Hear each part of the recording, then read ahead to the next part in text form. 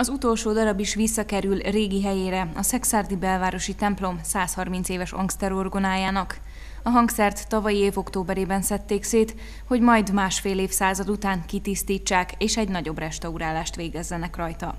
Budavári Attila orgona készítőmester elmondta, több ezer órájukba telt, míg elvégezték a munkát. Egy ilyen restauráláshoz teljesen a legapróbb részletekig az összes alkatrész szétszerelése, megtisztítása, ennek alapján az elhasználódott kopott vagy szúvas alkatrészeknek a konzerválása, szakszerű javítása, analógiák alapján való újrateremtése, tehát nem is restaurálás sokszor, hanem rekonstrukció. A hangszer néhány hete visszakerült tehát a több mint 200 éves barokk stílusú orgonaházba, azonban még mindig hátra volt a munka egy igen lényeges része, a zeneszerszám behangolása.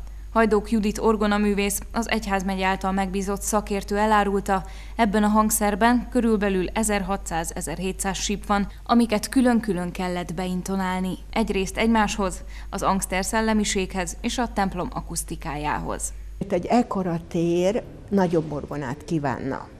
Sőt, Angster József maga írta annak idején egy levélben, hogy igazán ide 30 regiszteres orgona kellene, de hát megpróbál a 24-ből is ki, talán pénzkérdés volt, nem tudom, de hogy akkor a 24 regiszterből is megpróbál valamit kihozni.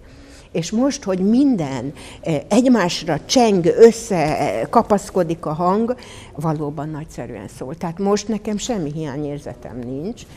A rekonstrukciót a Pécsi Egyházmegye finanszírozta pályázati forrásból, a munkálatok több mint nettó 45 millió forintba kerültek.